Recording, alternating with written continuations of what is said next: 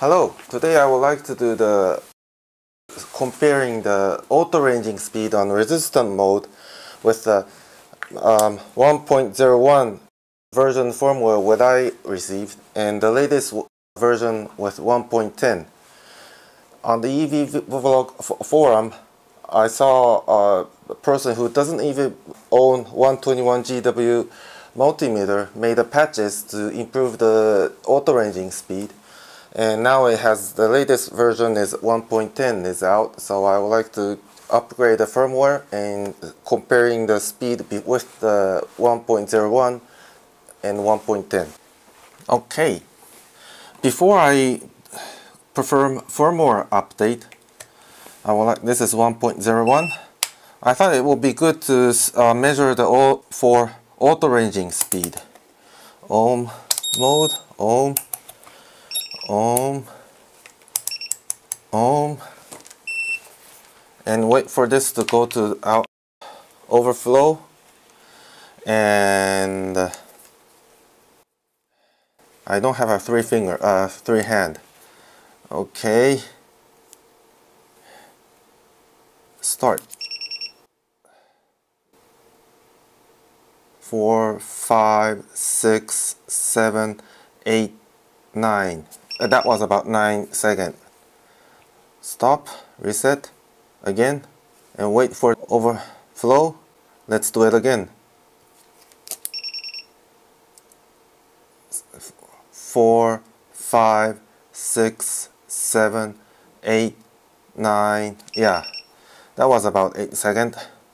So it probably it's less than 8 seconds.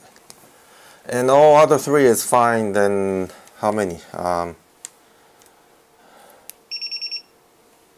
yeah let's all, all three is about one second or something. Okay. Now I'm going to upgrade the firmware. When I did the data logging on SD card last time it took me a while how to get this thick rubber holster out of the multimeter. And the easiest way was grab here and push with the thumb because it's pretty thick multimeter. And then with a Phillips screwdriver number two. Uh, opposite of clockwise.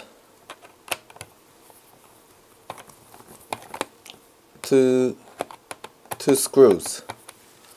And then it comes off. And both are metal receivers so it, it won't it won't damage taking off the um, back cover many times. And this is the SD card and I'm going to write the 1.10 firmware here. I wrote 1.10 firmware with the file name eevblog.bin put it back. Put the cover back with the Phillips screw number 2 screwdriver Normally what I do when I screw with the screwdriver, normally I turn on, turn the other side of a clockwise and wait for the yes wait for the um, notch goes in and then turn it to clockwise. So not to damage have a less chance to damage. Another let's try it for the another one. Yes and Yes. Okay. Then put it back to the holster. So how to perform the firmware upgrade is hold, press hold button and mem button and then turn on.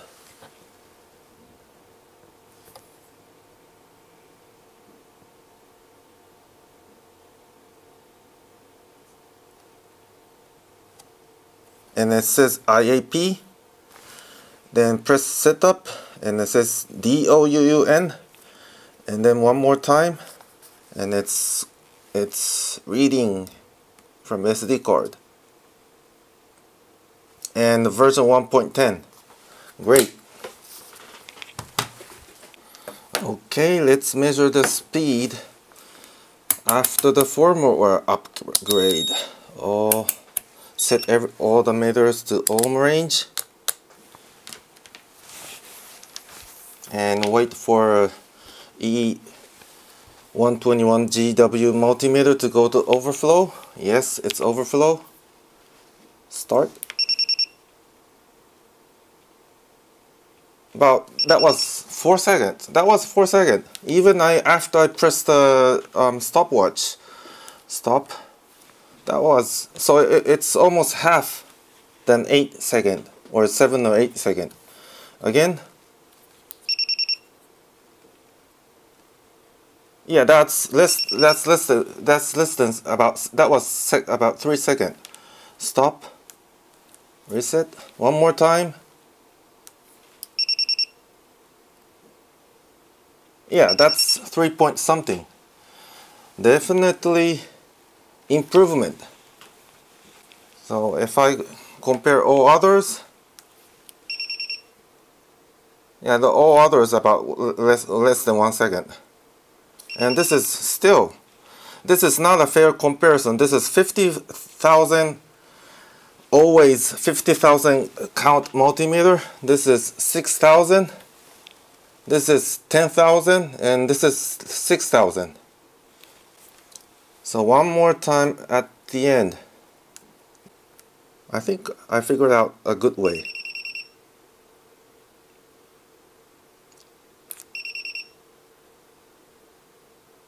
Yeah, that was about 3 seconds. Nice. So um, from 7, 8, 7, 8 second for, with the firmware version 1.01 and now version 1.10 it's uh, auto ranging for the ohm range is about 3 seconds. Mm, nice. So one one of the feature was improved with the 1.10 was auto ranging speed in, in the resistance mode.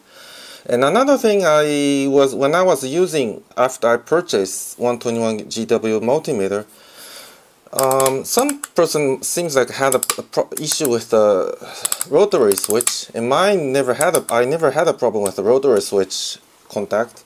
However, I'm most of my life I, I've been earning living with being a software engineer, and watching this the screen and changing the knob it, it felt me a little bit this it has a, a issue in the software. Um, it felt like having a memory leak or buffer overflow making the feature less consistent. However having the firmware upgrade feature on the multimeter not many companies distribute the firmware on the website to do the uh, firmware upgrade. It's definitely it's good to have a firmware upgrade feature Today when I take a vi video, I try to adjust the brightness. I hope it had a better um, video. And changing from firmware from 1.01 to 1.10, auto ranging resistance speed was 7 or 8 and it was improved to about 3 seconds. Little, yes, so it's it's good. Still it's still it's not a fair comparison. This is a 50,000 count all the time. 6,000 10,000 6,000 still for me the only this is the only ha handheld multimeter which has a 50,000 count and which also has a firmware update capability. Or uh, pros and cons. This is 50,000 with the firmware upgradable some and uh, right now the for my opinion the firmware is a bit buggy still. And the fluke um, for everyday use it's not the best. 6000 and high res mode 20000 um, why it's not the best is I don't know. It's the size or the responsive, uh, responsiveness or something. For me, the ranging switch is the uh, feel, feels the great. But every time use uh, for the daily uses, I still use these three. This has 10,000 and Spot gets the uh, the resolution with 10,000 easily. And this does uh, this only is 6,000, but it's it the uh, the value settles very quickly than um, all uh, uh, comparing the all three, and this is the this is this meter is definitely for the when I need a 50,000 especially measuring the um, low ohm voltage example making the leads and uh, want to have a very low resistance. Okay, that's it for today and thank you.